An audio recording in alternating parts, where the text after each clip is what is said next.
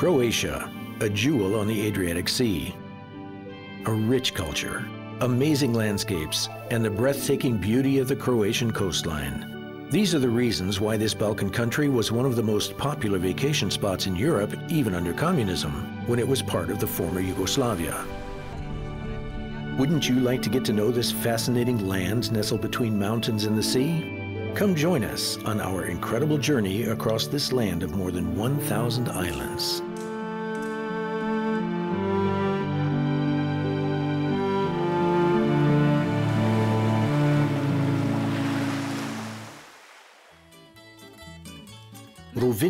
On the Istrian Peninsula. It is no accident that we begin our journey through Croatia here. This city has been mentioned in records dating all the way back to the 5th century. Today, it is among the most popular vacation spots, especially for Northern Europeans. From the place where fishermen of today cast their nets between the open sea and the Limski Canal to catch tasty fish and collect shellfish, a city comes into view that has had to endure the attention of many rulers. This fact is reflected in its historical buildings. Renaissance, Baroque, and neoclassical architectural styles speak of the Byzantines, the Lombards, the Franks, and the Habsburgs. They all had their influence on the culture as well as the people. And that can be seen clearly in the quaint alleyways to this day. The people of Venice had a particularly long-term effect on the architecture. The bell tower of the St. Euphemia Church, for example, is very similar to the Campanile in the St. Mark Square in Venice. The beauty of this church, towering majestically over the city, also makes it a favorite setting for romantic young suitors to propose to the woman of their dreams. Croatians know how to celebrate, and they practice their traditional folklore according to the ethnic group they belong to.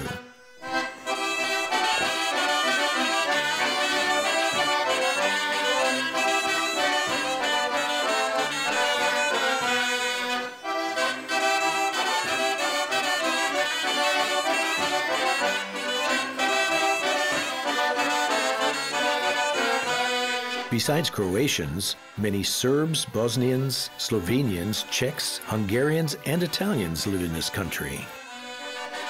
For travelers, this population mix finds expression not only in the songs and dances, but also in the language. The inner city of Rovinj is free of auto traffic and invites its guests to meander through its picturesque alleyways. Since ancient times, the residents have cultivated the beauty of their city. Works of art are the keynote of their quality of life. So it is no wonder that even the seven gates of the city were decorated with works of art already centuries ago.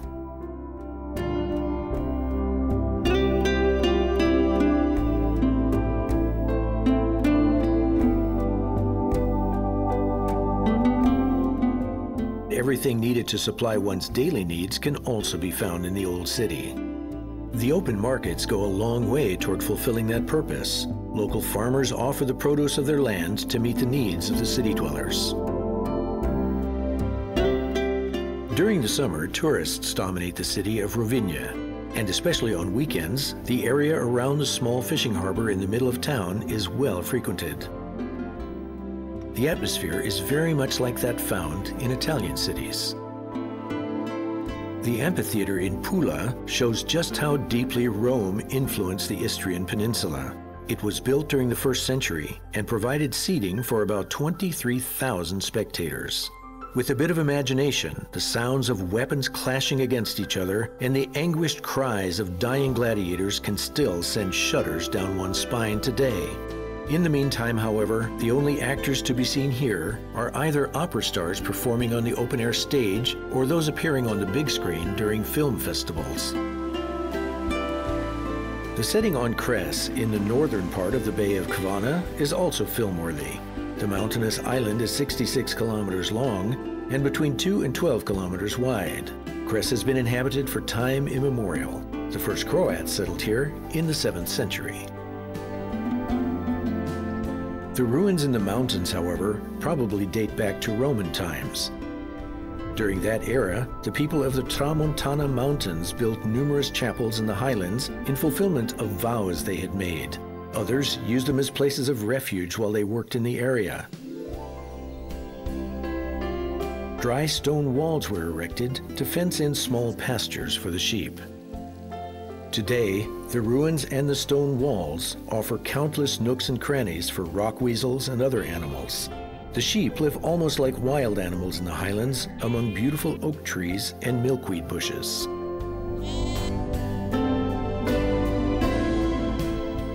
The sheep are not shorn until autumn.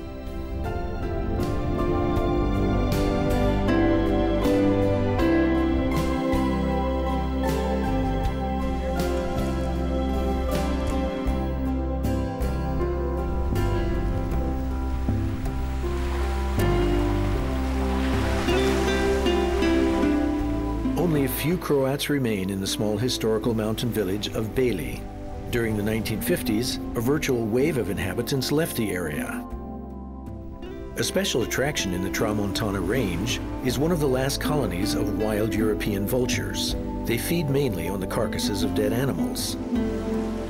They probably remain on Cres because the herds of sheep provide the occasional dead lamb or a weakened older animal they can fill up on.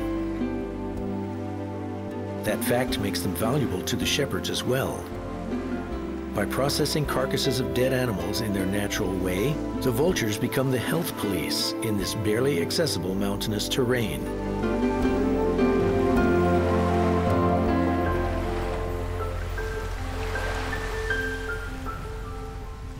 The young birds are tagged by environmental protection officials in order to follow their development and movements. This helps determine potential dangers to the birds.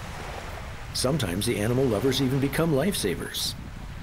At times, the young vulture's first attempts at flight end up in the sea. Rescuers from the Environmental Center fish the crashed birds out of the water and nurse them back to health in the Rehabilitation Center in Beli. The steep coastal cliffs provide the vultures with excellent nesting places on overhangs, in crevices, or in caves. Here they are able to raise their young in relative safety from their natural enemies and from human intervention. The female lays only one egg between December and March. The young bird hatches after 47 to 57 days. The vultures are not the only birds of prey on Cres. The small Eurasian hobby falcon finds prey here just as does the short-toed snake eagle.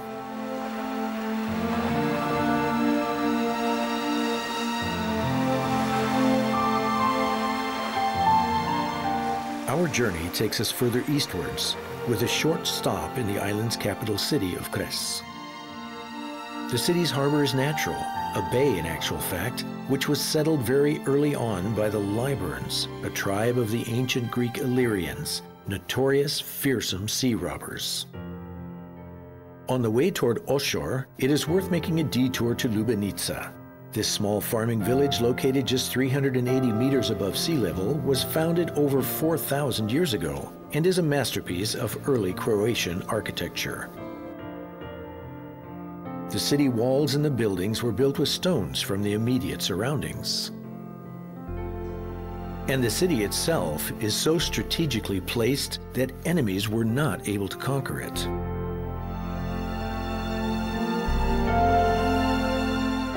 Geographically, Cres and Lošinj form a single large island. But ever since a man-made canal for small boats was dug out close to the town of Oshor, the two islands are separated each time the drawbridge is opened. Then, the shipping traffic has the right of way rather than the normal road traffic and pedestrians.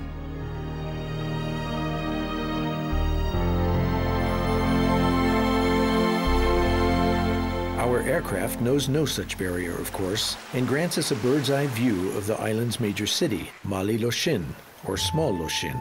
A few kilometers to the east, we enjoy the sense of romance and history which characterizes the town of Veli Lošinj, or Large Lošinj. Meandering through the city, also known by its German name Lutzing, the influence of the Austro-Hungarian Empire, which ruled here until 1918, is unmistakable. This was a health and wellness oasis for the royalty of the monarchy.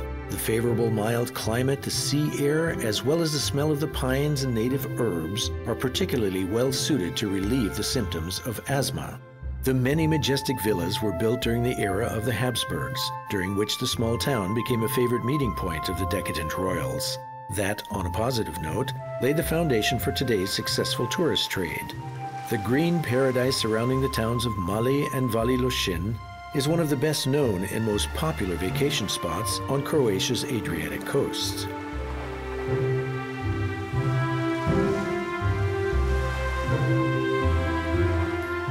To explore all of Croatia's 1,242 islands in a film like this is just not possible, of course. So we'll just treat you to a flyover of the popular tourist attraction of Rab.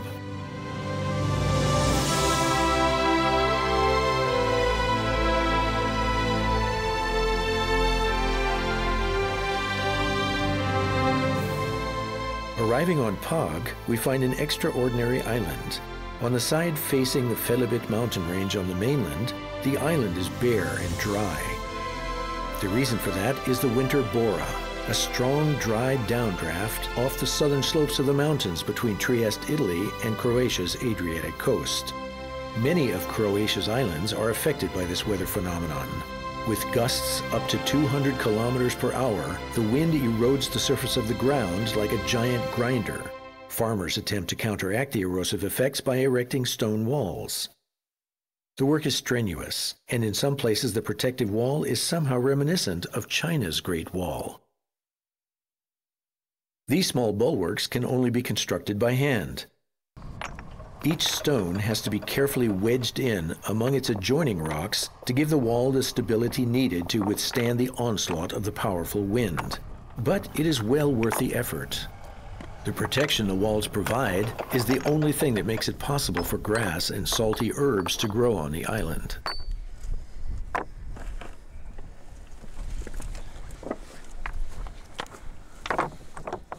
The grass that does manage to grow in the bare, salty soil is still not enough for the animals to survive on, so they also feed on the wild herbs.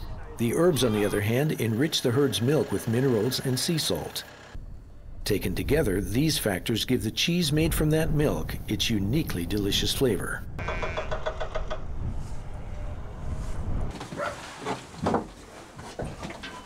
Milk from the sheep is the main ingredient for the cheese.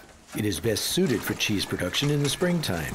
From June on, a bit of goat's milk is added, and a little cow's milk from the mainland is added toward the end of the year. In the last production phase, the cheese is set on shelves to mature at a constant temperature of between 14 and 16 degrees Celsius. Pashkisia is a well-loved delicacy and should be enjoyed with Pag's characteristic herb brandy or a good regional wine.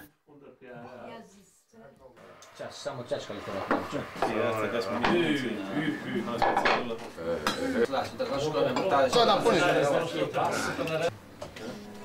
The people of Pag are real connoisseurs. An original farmer's bake with lamb and ham, various herbs, and Pag sheep milk cheese makes a hearty and very tasty meal. Peršinom, peršinom, selenom, češnjakom, lukom. It is baked in the fireplace with heat from above. Coals are placed on the lid of the pan. That cooks the dish as gently as if it were baked in an earthen oven.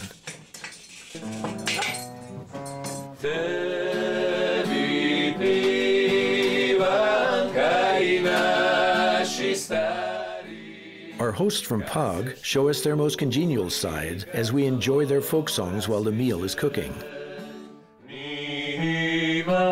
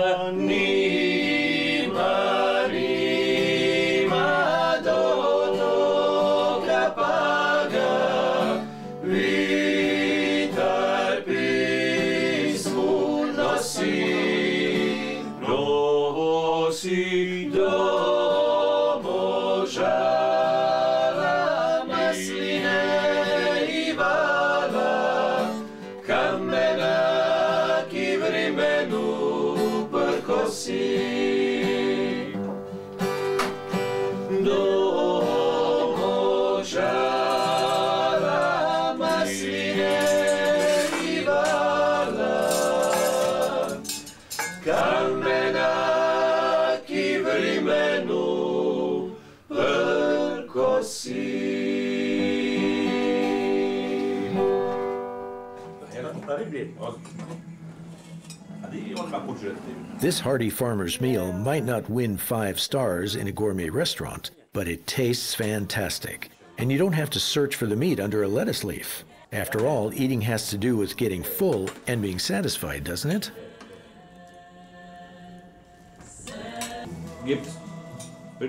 If needed, a bit of salt produced on the island can be added.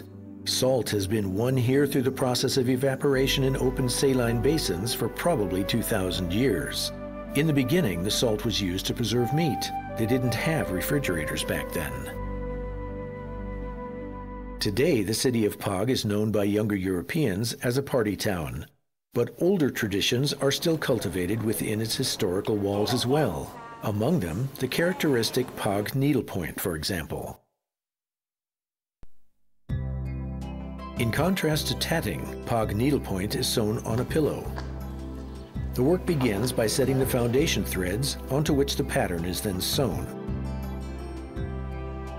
The women of Pag have been cultivating this handcraft since medieval times, and of course, the needlepoint is an important adornment of the region's traditional festive garb. During folk dances, the costumes are presented in all their glory.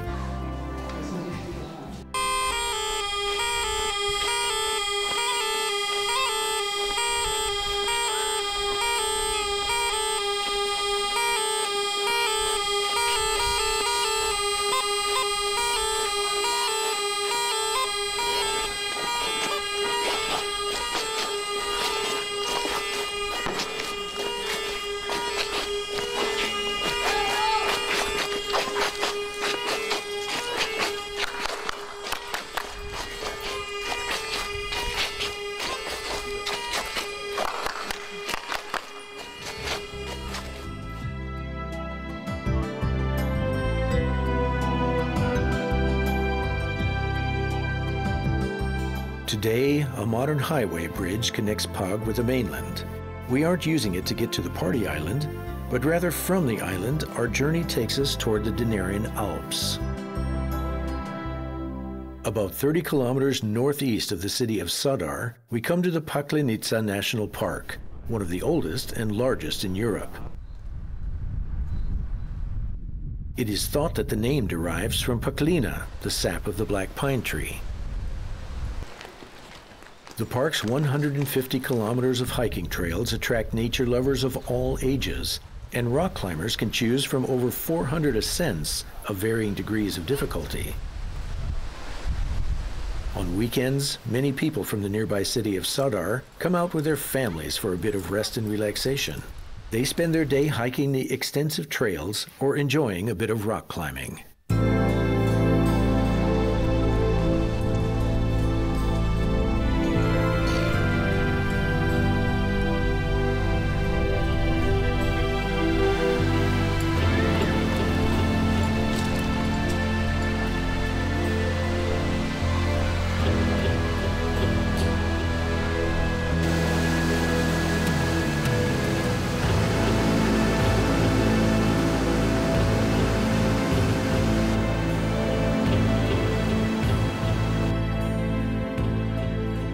Zadar is the former capital of Dalmatia. The city has a population of about 80,000, and over the centuries, many rulers have left their mark in the form of distinctive buildings.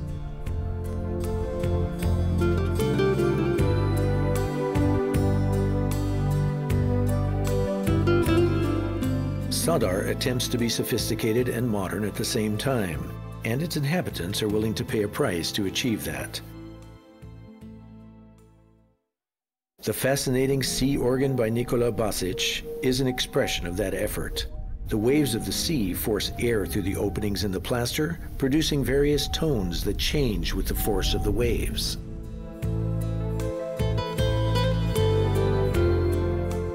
The inner city is completely traffic-free and contains an enormous treasure of historical architecture. Visitors wander through the city center on the finest of marble pavement and have trouble deciding which of the stone works of art to examine first. Well, let's see. How about the Roman Porta Terra Firma gate with its Marcus lion, which was built in 1543? The St. Donatus Church is also well worth seeing. It originates from the 9th century and was built on the foundations of a former Roman forum. The ruins in front of the church still contain the remains of pillars and walls from that time period. The bell tower of the church rises majestically right next door. The three-naved basilica is kept very simple by the standards of the Catholic Church. The raw size of the pillars and vaulted ceilings alone is enough to make a person feel small and insignificant in this imposing house of God. And that is just what the church leaders had in mind.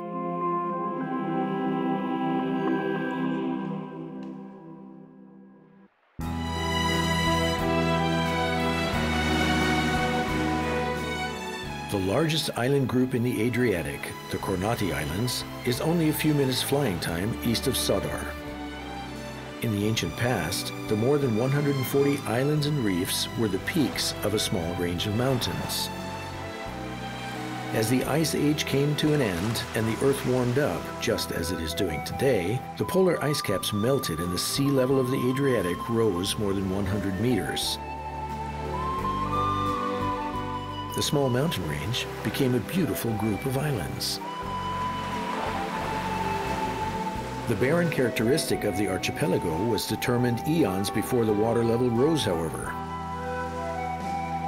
The mountain range was formed by the collision of the African and Eurasian continental plates. It consists mainly of sedimentary rock from the former seabed. That is why the limestone on the islands is so porous and crumbles easily.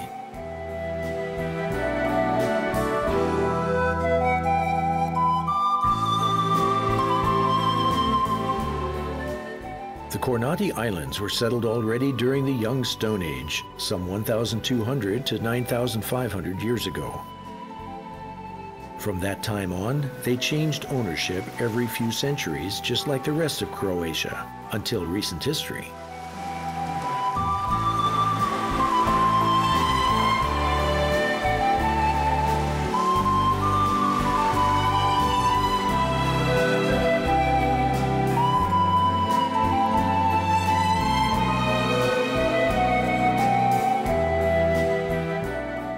At least during the warm months of the year, conquerors overrun the small settlements on the sparsely populated islands.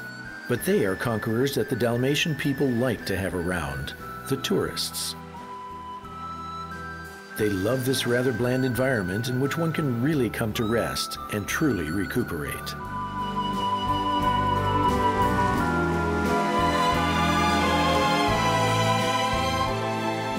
Today, the greater part of the archipelago is a national park. The park includes the landmass as well as the sea. Though not many animals live on the islands due to the sparse vegetation, the underwater world around the Kornati Islands teems with sea life.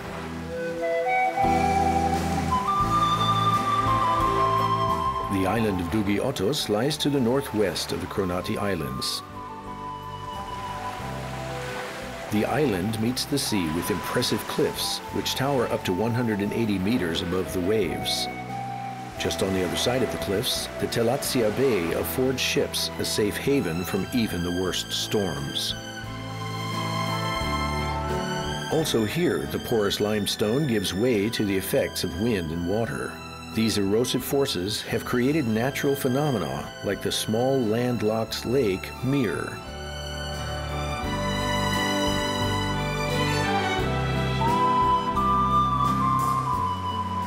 Sali is the largest town on Dugi Otok, yet still only a small, comfortable village with a population of about 1,000. On the little arable land available, they grow a few grapes to make their wine, a few olives for their oil, and they keep a few animals for their own use, to make goat cheese or to put the occasional lamb on the supper table.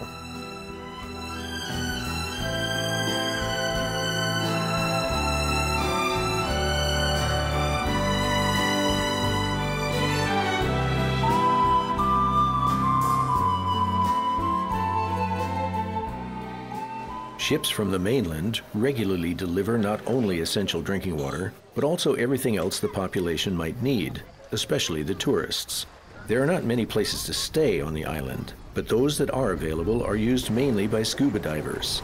Sali is the gateway to exciting underwater excursions. The dives are either along the steep cliff faces, which continue underwater to depths of up to 90 meters, or into underwater caves, home to an enormous variety of sea creatures, from sea urchins and starfish to sponges and a rich selection of fish. The diving stations are well equipped, and experienced diving instructors accompany their guests on the diving tours approved by the National Park Administration. First-time divers are amazed at the underwater beauty of the Telašćica paradise.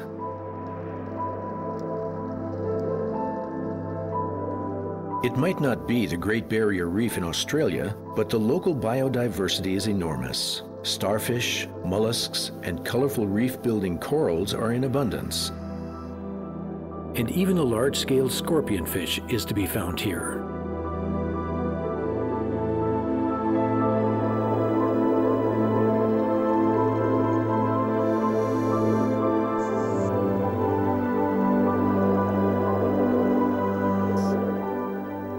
Hide in the many nooks and crannies, just as the European conger and the fork-bearded codfish do.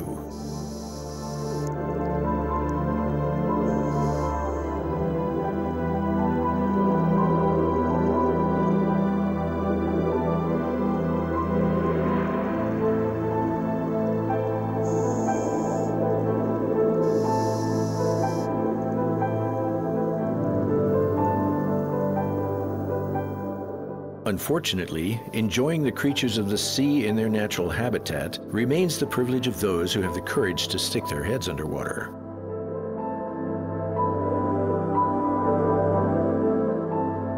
But others, particularly the ladies, can share the fascination with coral in other ways.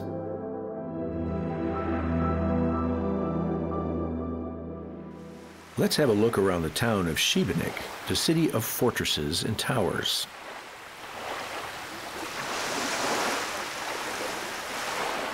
Šibenik was mentioned for the first time in the year 1066. Today, about 52,000 people live in this well-kept metropolis on the Krka River.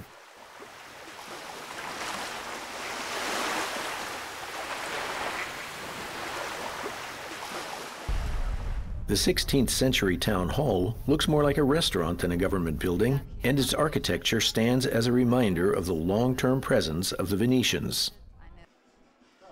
The most distinctive attraction in Šibenik is the Cathedral of St. Jacob. The builders of the three-naved basilica were obviously not in a hurry. Construction began in 1431. Four master builders worked on the church, one after another, until it was finally completed in the year 1535, 104 years later. The official dedication of the cathedral was also delayed. It didn't happen until about 20 years after the building was completed.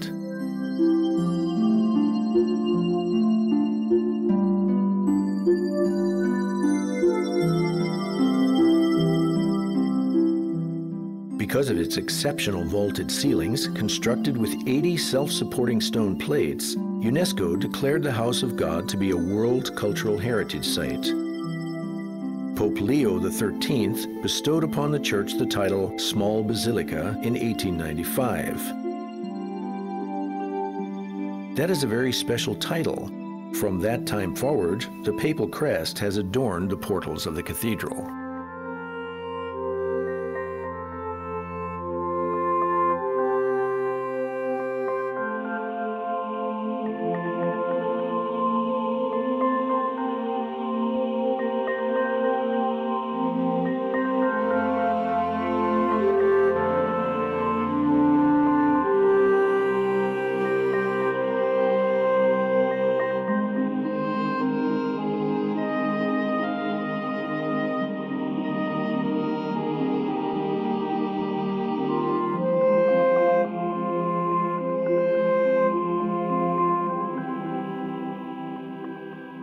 cityscape of Šibenik is truly impressive.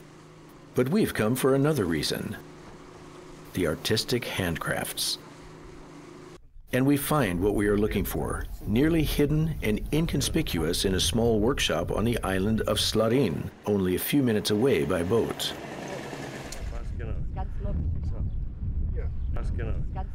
Coral jewelry. The tradition of polishing coral on this island is centuries old. But because redstone coral can only be found at great depths today and is under environmental protection, the painstaking handcraft is hardly worthwhile anymore. All that remains is a small museum where visitors are treated to a demonstration of the jewelry maker's artistry.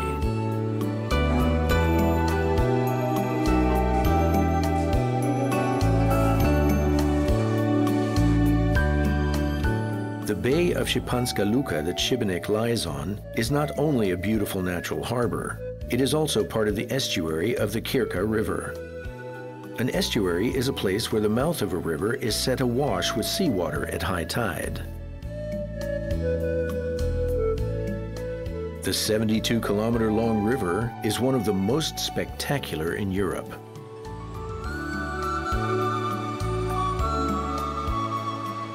Its source can't be exactly determined. Many of the waterways feeding the Krka run underground. The river's journey through the limestone of a high plateau down to the sea takes it through rapids, over terraces, into basins, and over waterfalls, or through stretches where the river broadens to the size of a lake.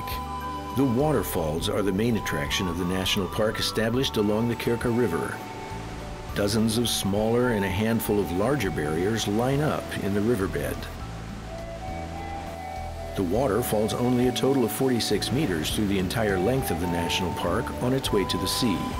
At some points, the Krka is more than 100 meters wide. At others, the water rages with enormous force through narrow gorges. The many historical remains of settlements, castle ruins, and small villages in and around the national park, as well as former water-driven mills, testify to the fact that people have been utilizing the water power of the Krka for centuries. The water mills, for example, supplied the surrounding towns with flour over the centuries.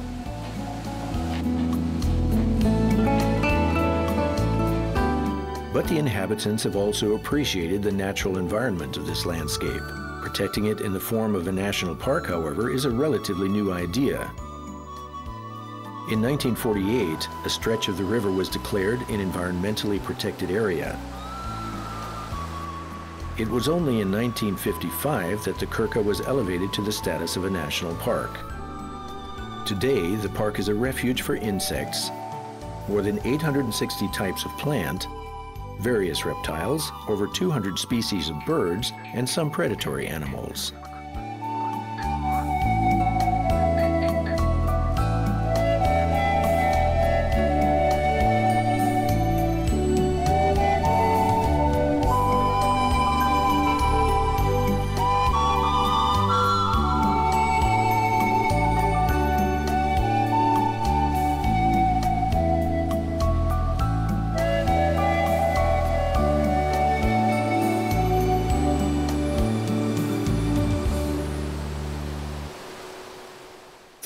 Kilometer long lake Visovačko Jezero is actually not a lake, but rather a wide stretch of the Krka River.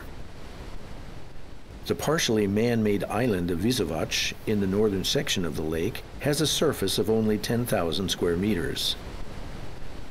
A Franciscan monastery was built on the island in 1445. Five years before, the threat of the invading Turkish hordes in 1440 became too much for the monks living there and they fled this area, known today as Dalmatia. Just five years later, Franciscans from Bosnia took over the island and built a monastery. Its library has writings in Old Croatian and handwritten manuscripts from as far back as the 15th century on display. Today, only a handful of monks live on the island. Just as their brothers in the faith in times past, they spend their days mostly in prayer and meditation and the care of the monastery garden.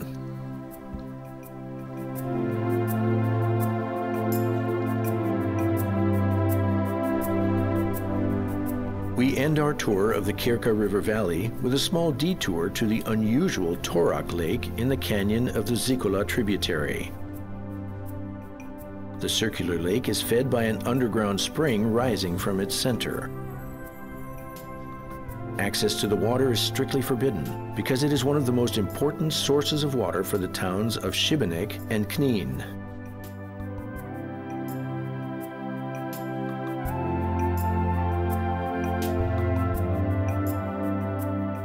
At the small village of Tribunj, only 14 kilometers away from Šibenik, we again find ourselves along the Adriatic coast.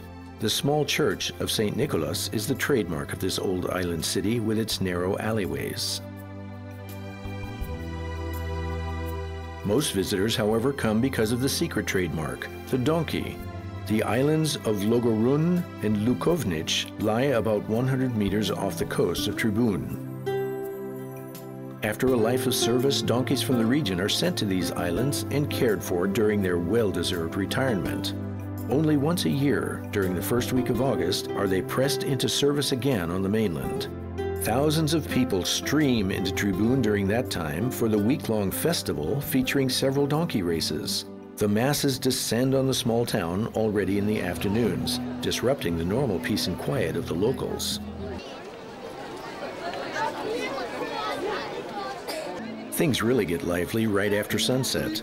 To the delight of the spectators, the donkeys race around a short track at a somewhat quicker pace than usual.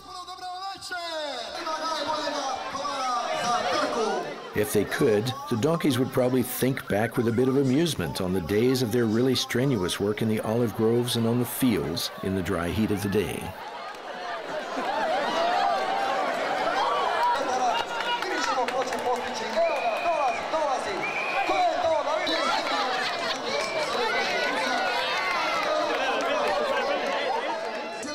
The winning jockey rejoices in his trophy, and thanks to the income from the festival, the donkeys will be well taken care of for another year. In Trogir, in the Bay of Castel, things are less turbulent but still very lively, with good reason. The city, founded by the Greeks already in the 3rd century before Christ, is an inhabited open-air museum. This small island city, with its population of only 10,000 people, is riddled with historic buildings from fortresses to cathedrals and works by famous sculptors and painters.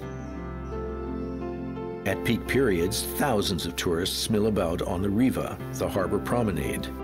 They are brought in for day trips by land and by sea from the surrounding regions. One has to get up early to experience day-to-day life on what the Croatians would call a typical market day. The reward is well worth the effort.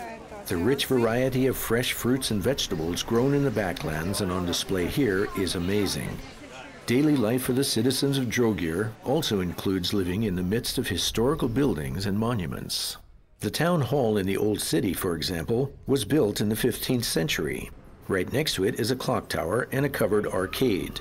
The arcade served as a court of law during the Middle Ages. Justice is the theme of this bas relief on the arcade wall, made during the time of Venetian rule. An ancient judge's table also still exists. Constructing these buildings often took a long time in Trogir as well.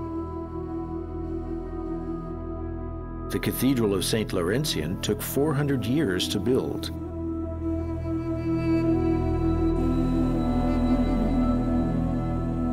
The other churches and chapels went a bit quicker, but they are filled in the same way with valuable art treasures. The various building styles reflect the development of architectural trends and fashions over the centuries. The churches and chapels in Trogir serve not only as houses of prayer, they also house impressive collections of sacred artworks.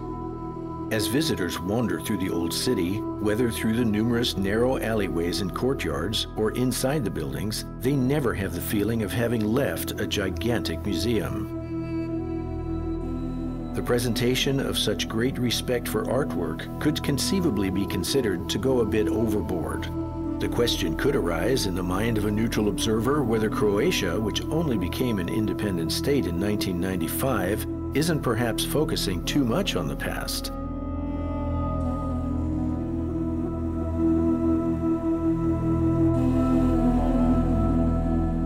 On the the other hand, anyone having some of the very first musical score sheets in their possession must surely be allowed to take pride in their rich culture. And finally, there are cities like the university town of Split. Here, the merging of past and present has worked particularly well.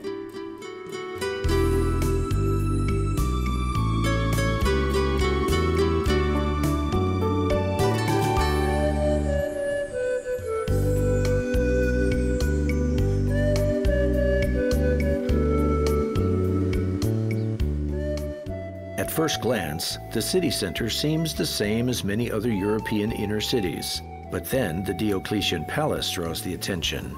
The ancient building complex was the retirement home of the Roman Emperor Diocletian and today basically makes up the old city of Split. In the halls of the massive building, protected from the sun and the rain, active trading takes place. The arcades leading down to the harbor promenade serve as a fish market, among other things.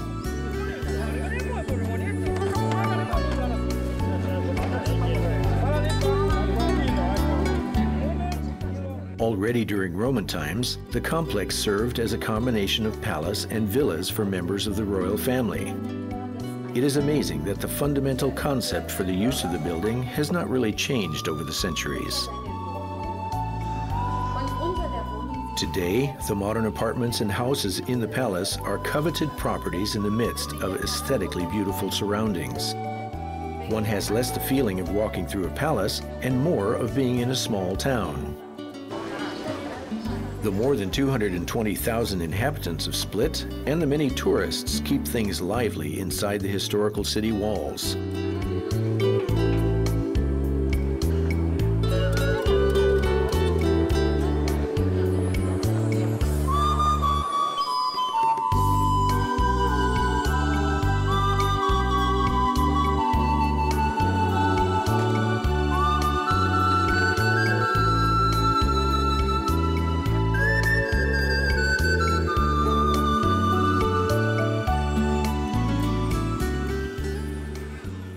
Favorite places culture-minded people like to meet is the Peristyle, a combination inner court and columned hall. Concerts are performed here regularly. Sometimes they are modern entertainment events, and at other times classical or church music concerts. The intensively cultivated Christian faith of the Croatians is clearly felt in Split as well. It finds expression in the many churches and seems to stand in contrast to the industrial prowess of the city. After all, tourism is not the main source of its wealth, but rather shipbuilding, industrial chemical production, and metalworking. But nowhere in this culturally rich country on the Adriatic will you find any real conflict between religious expression and the modern world. In fact, in the recent past under communism, Croatians expressing their faith in God was a form of silent protest against that atheistic regime. Croatia became a completely independent state for the first time in its history only after the dramatic events which took place between 1991 and 1995 came to an end. The country has quickly found its own pathway into the future as a friendly host to visitors from all over the world, and as a country in which the purposeful view into its colorful past strongly confirms the importance of a peaceful Europe in the future.